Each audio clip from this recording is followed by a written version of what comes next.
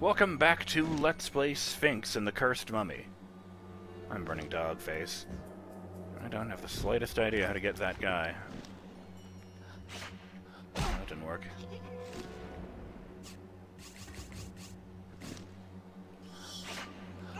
Ow. God damn, I'm almost dead. Oh, good. Sorry.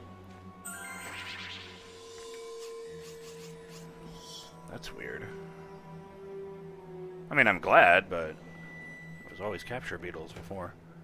From that one, anyway. Maybe it's always capture beetles if you're almost... I mean, always uh, ankhs if you're almost dead. I mean, I'm not full of capture beetles, that's not it. That's weird.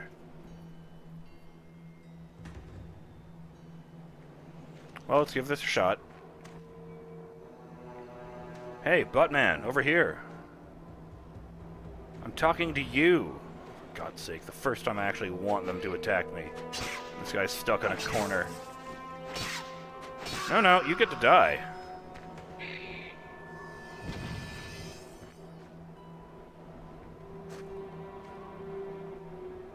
Maybe this is the land of the dead. Maybe that's why everything is fucking skeletons.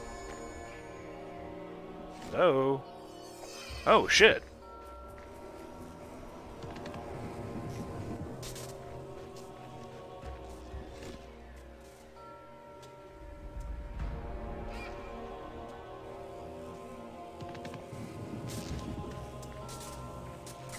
This guy doesn't spit on me.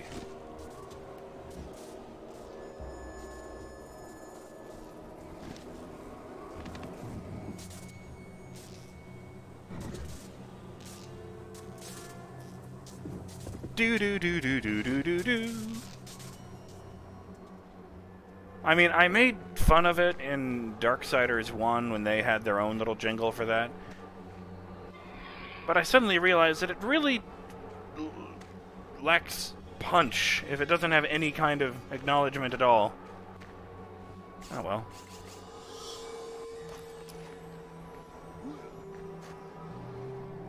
Take that!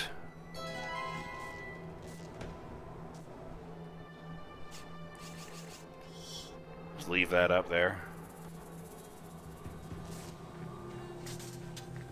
Excuse me.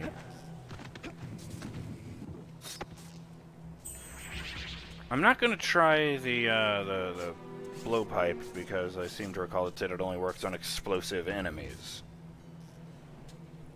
Which is weird, because you don't need to do that to the Slim Burbles. Maybe I should go back and look at that. I mean, oh, fuck it, I'll give it a shot.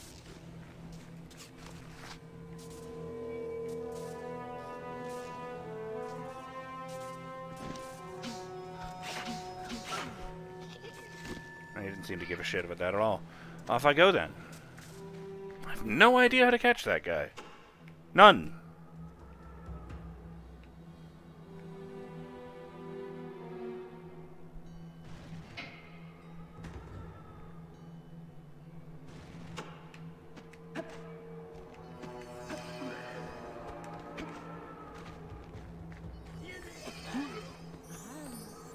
Thank you, sir. Thank you for freeing me. It's been so horrible in here. Must get back to my husband as soon as possible. He must be out of his mind with worry. Lady, you'd have no idea. Please come back with me. I'm sure my husband will be eager to thank the hero who rescued his beloved wife. I was going to get some heals, but okay. The hero has returned. You rescued my wife. How can I ever repay you? I didn't realize when we first met that you were an apprentice of our friend Imhotep. He said that he wants to speak with you in the Sun Shrine. He also asked me to give you this. I seem to think it would prove to be useful in your quest. You got an Abydos pass card. This official document gives unlimited access to the city of Abydos. Nice. Thank you. It brings tears of joy having Ketta back home. Thanks again, stranger. Thank you. Will never forget what you've done for me, stranger. You have a place in my heart. See, I thought she was gonna, like, open a hidden door or something. I didn't realize that, uh... What am I doing over here? Uh, scroll all the way back up. I do have an Attune eye. Are you the, the guy who wants to race? Yes, that's where that that's where this is. So stick one of these over here.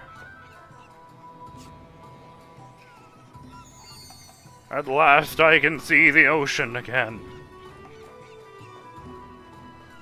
What was that Greek myth about the witches who shared one eye between them? Just passed it back and forth and looked at stuff.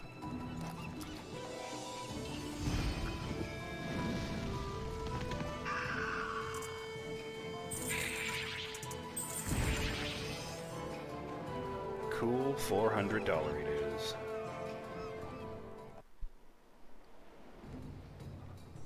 Uh, what? Oh no. Could it be that all beaches look the same?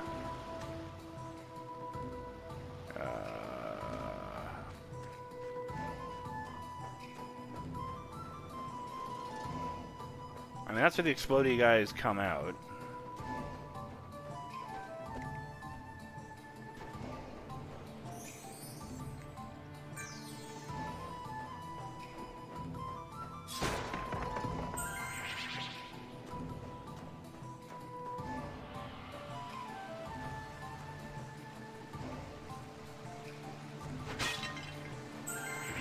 Problem solved. I thought I was up there. There was a beach over there, wasn't there? Oh, that's right. The only building over there was that really weird purple guy who uh, only takes onyx scarabs as payment. I'm really pissed off if I need to pay every time I want to go in there, because otherwise I'm just throwing some away for no reason. Oh, there's a save point.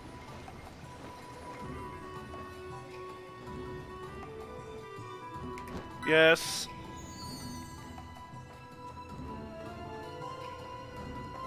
First things first, let's go drop all this shit off. Where am I trying to get to?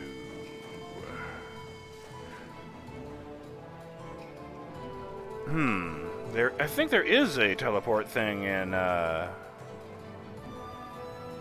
Sunshine Island, or, but uh, walking inside will almost certainly trigger a cutscene, and then it might go over to the mummy,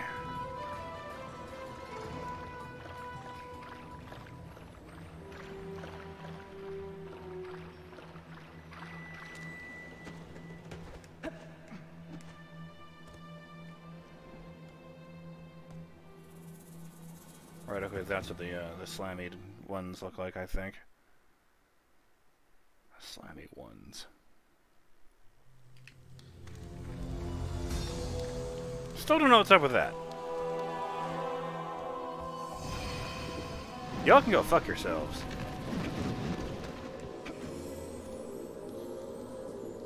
I've got your cousin Leroy in my pocket. Proverbially speaking. If I could get both of those at once.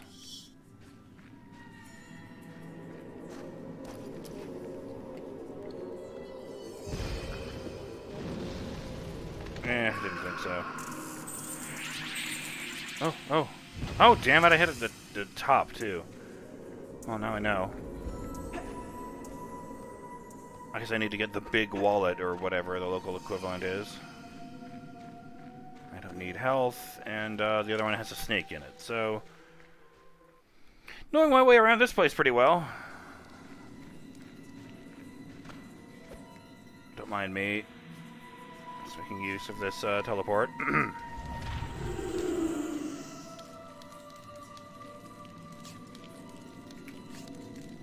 no, not that button, this button.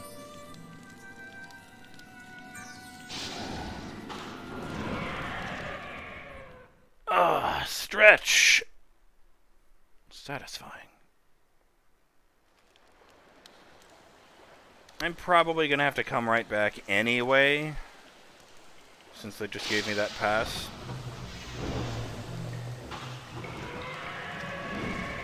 So what I'm gonna do is, uh, after I drop all this shit off in the museum, I'm gonna save and then head right back. So that I don't, you know, spoil the moment. In uh, terms of the actual word spoil, not in terms of, like, plot spoilers. You know, when they tell me, go over here and do this thing. I have a very quiet distaste for uh, sequence breaking by accident.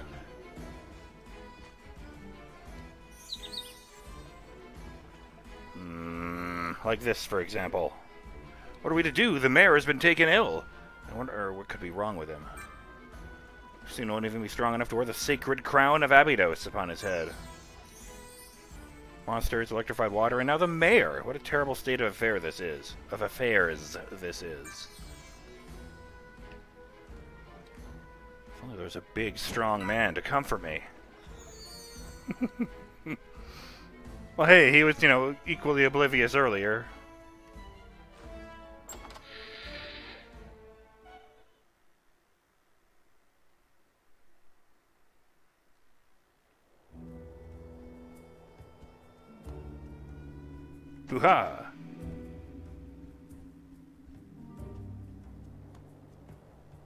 Sup.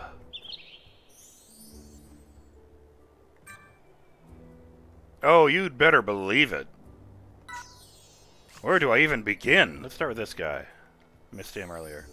A big bull, partial to swinging his hammer around. I thank you so much for your donation, sir. The former glory of our museum is beginning to be restored.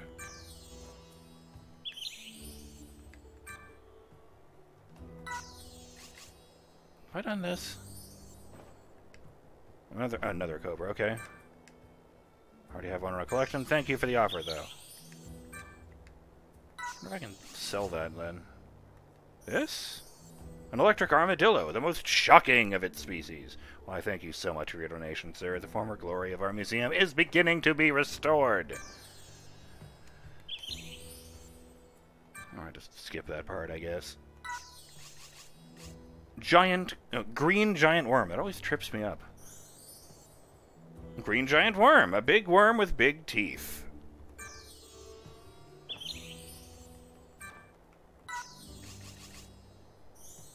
A half-brute, a shockingly aggressive monster. Oh, that's a terrible pun. I didn't even get that until I was done. It's because they're the ones that electrify themselves, you see. The other ones. Do I have this one? A knives cat! Not the friendliest feline around.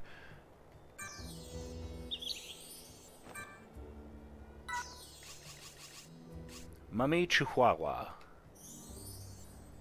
A mummy chihuahua, a pet that's now undead. Creepy.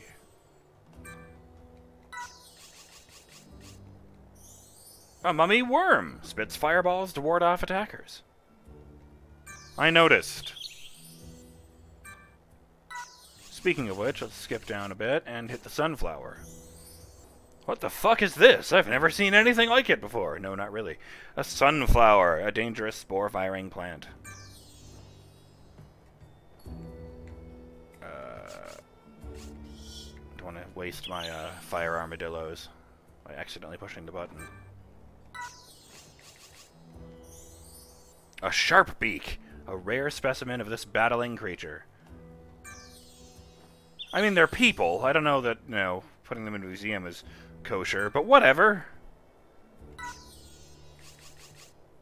Skull Swordsman.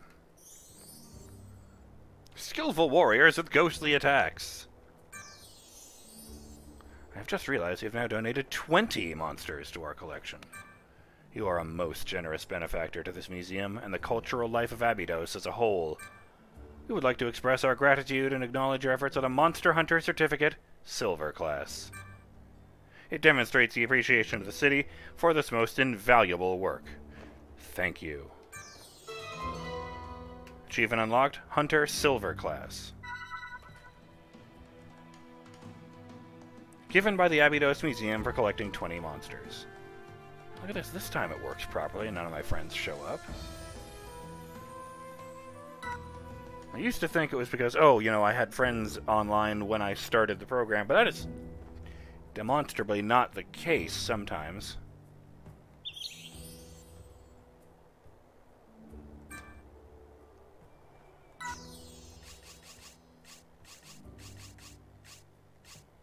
Skull Worshipper, a powerful ally to the forces of evil.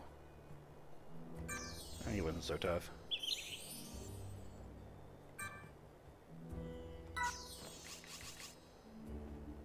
Uh, yeah, Smiling Burble. A Smiling Burble uses its horns in a haphazard manner.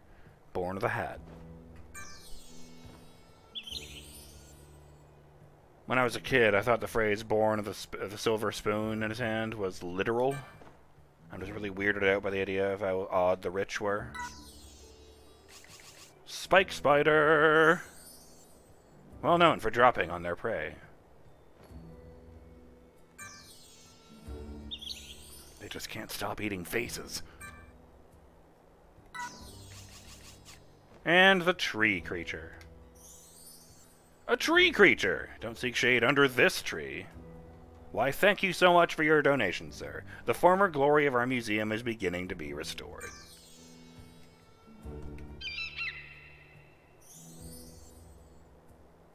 I have.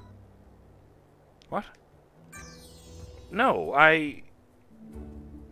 Oh, am I gonna have to go back and get that thing? I swear there was one in, uh, the temple. Fuck. Where I accidentally jumped down and found it, and then that was the first time I ever used the, uh, the, the, the Ka dart teleporters. Oh, God, I don't look forward to that.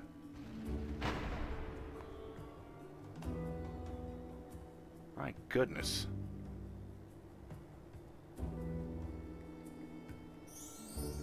Skull Swordsman. Highly trained in many swordsmanship techniques and deadly opponents. Proof that they dwell within evil. What? They can summon a ghostly skull, which drains the soul's essence on contact, and for some reason he appears to be using uh, Japanese katana.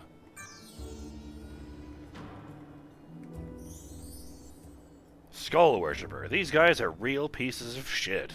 You should not hang out with them under any circumstances. Just be really rude to this one in particular for some reason. A powerful ally to the forces of evil, skillful and ruthless fighters. The Skull Worshipper is precisely that. Their dwellings are said to be adorned with, with skulls by those who have lived to escape. What? They have the skulls of the people who escape them? That Oh, they're said by the people. Yeah, the the ones who escape are the ones who said that. Okay, okay. I could have parsed that a bit more clearly. Sharp beak. The Sharpbeak's slender form makes it a lithe warrior, and they are well trained in swordsmanship techniques. Dark magic is rumored to be the cause of this unusual blend of lizard and bird. Sorry, I would have written it down if I thought this one would come up today. But uh, Yornik left a comment saying, that fellow at the end, referring to this guy, he's a lizard, all right. It's just he's been raised by birds. Speaks fluent crow and passable, if accented, dove, too.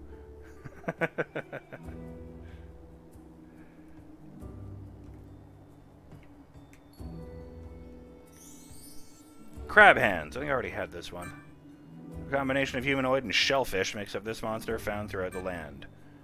The gold armor plating adorning Crab Hands is permanently welded to its body and enchanted to allow for growth. Yes, that's right. I remember that. Being confused because uh, welding requires metal to metal. Knives Cat. A much faster and more deadly relative of the crab hands, possess a remarkable sense of hearing. While humanoid in shape, you only have to see a knives cat hunting to appreciate where the feline half of its name comes from. I mean, I thought it was because it's very clearly a kitty, but whatever. Uh, I think I already had that one.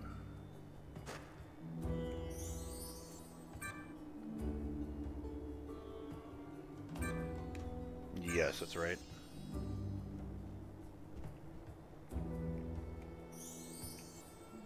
Green giant worm. I said it right the first time. The largest invertebrate creature known, it is also one of the few carniv carnivorous worms in existence. Green giant worms uniquely fortify the entrances to their subterranean tunnel networks, affording some forewarning as to their presence. That is true, they were covered in green smoke.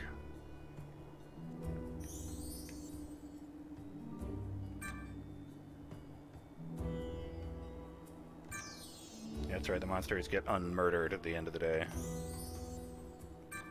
Oh!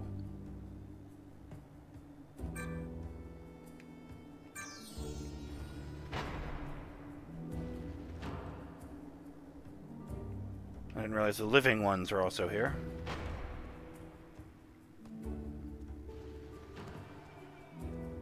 I know that the ancient Egyptians, uh, well, they thought cats were like the messengers of the gods or something so they considered them sacred. They actually mummified cats, but I don't know if those are just like temple cats or if they just like, oh, my cat died. I guess I'll, you know, mummify him and preserve his remains for all eternity. Here we are. Mummy Chihuahua. A, a Chihuahua is a smooth-coated dog of diminutive stature. The mummification process makes their undead counterpart very aggressive. A popular pet of a former pharaoh, they went to the tomb with their master. Armadillo. These peculiar waddling quadrupeds normally walk along at a slow pace. Their hard shell doubles up as a weapon when spinning along the ground. Certain popular children's tales claim their origins as the union of the hedgehog and tortoise. They seem to have just added the uh, electric one to the to the same uh, platform as the fire one. Hmm.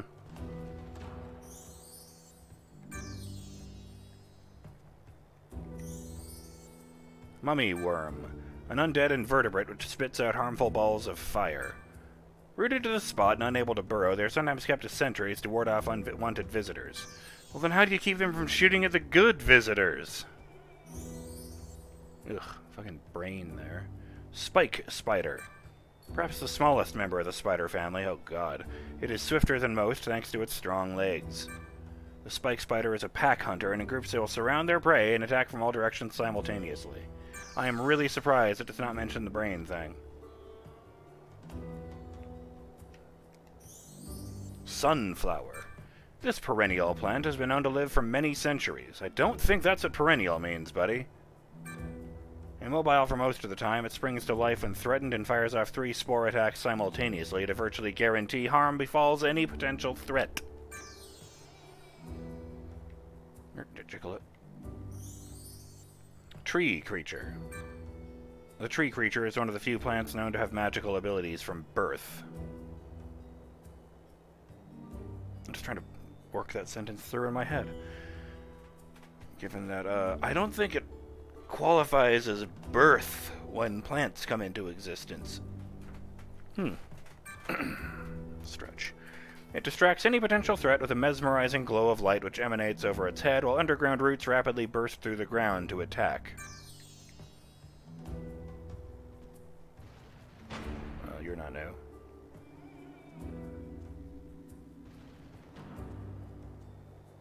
Come on, the timer already went. I need to finish this up.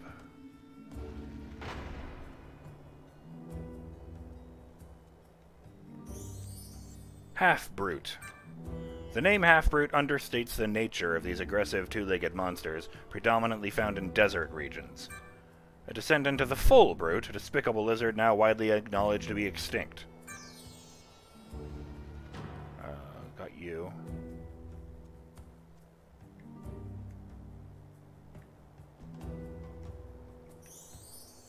Smiling Burble. This little critter is one of the less harmful members of the Burble family, having lost the explosive properties ind indicative of its species. Their powerful horns can shatter rock, although their lack of coordination lessens the threat this would normally pose. I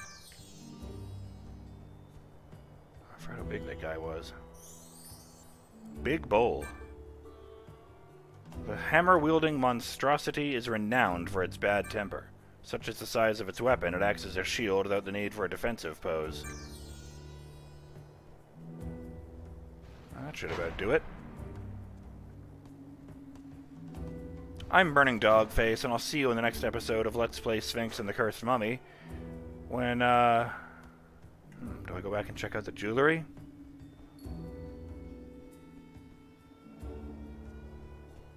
Yeah, I'll just go back and look at the footage and see what I got. But, um... Yeah, see you next time when we, uh, head back to Heliopolis and find out what Master Imhotep wants. Later...